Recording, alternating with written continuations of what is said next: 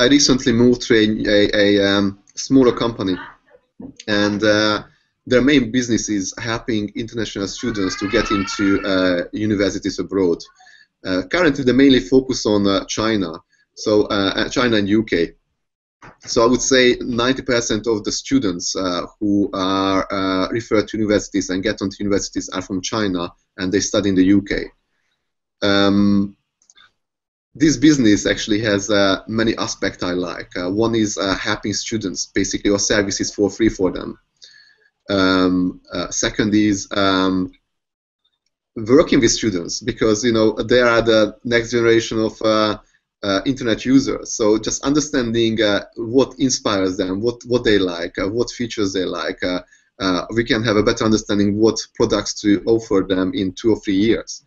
Imagine they are 18 years old, you know, and um, when they turn 25, they're going to be the uh, the most targeted uh, uh, on, uh, online uh, users.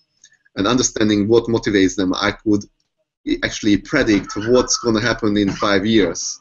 What type of products are going to be needed uh, for this type of customers.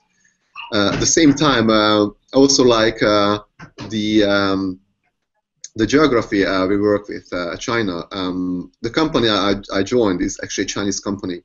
And um, I'm a second non-Chinese in, in, in, the company. And they would like to go international.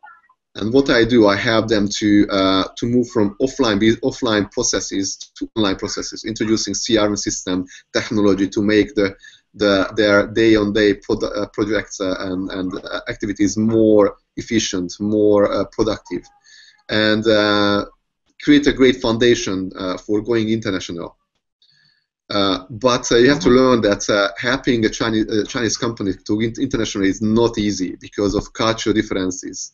Uh, for example, one of the issues we have is that they would like to go international, but they still keep hiring people from China. so if you want to go international, you need to have international team. At the same time, you know, you cannot just say that, okay, we are going to um, hire just international people. We have to have a, a change strategy, which is quite challenging.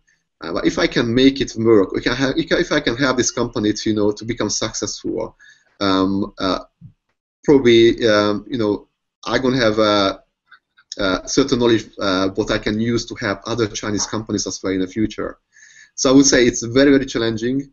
Uh, the area uh, of the business is great, uh, helping students. Um, understanding uh, um, students, many Chinese students' expectations, behavior, and uh, and um, and understanding how to make a Chinese company international. I think this is this is uh, not an experience what you can get anywhere and I think I was lucky that I got the opportunity to to uh, come on board as a, a CPO and uh, and help to form the company. Um, I'm not sure. As I said, uh, uh, you cannot be 100% sure if it's going to work out. So uh, uh on my FAB, I'm going to do my best to, to make it uh, make it happen, make it work. So that's from you can see why I'm excited now.